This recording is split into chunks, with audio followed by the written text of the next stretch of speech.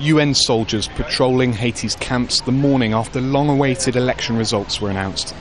But after months of political tension here, news of a victory for populist candidate Michel Martelly has brought calm to the streets for now.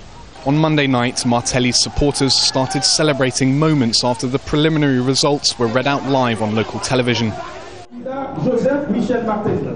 Michel Martelly and the Tèt Kale party, 67.5%. And as the news spread, gunfire could be heard echoing around the city.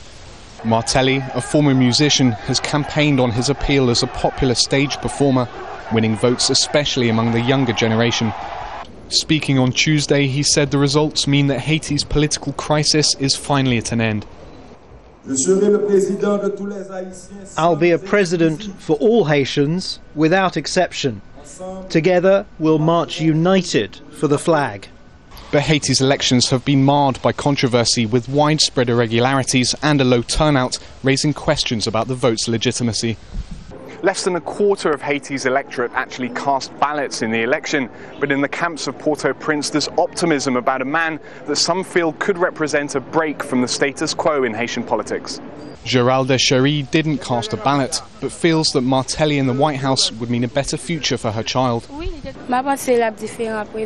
People respected the music Michel Martelly was making before, and he respects us, the people who are suffering. After Aristide, Michel Martelly is the number one choice for the Haitian people. Martelly won't be confirmed as winner until a period for contesting the results comes to an end.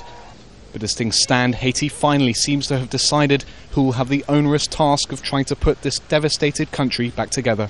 Sebastian Walker, Al Jazeera, in Port au Prince, Haiti.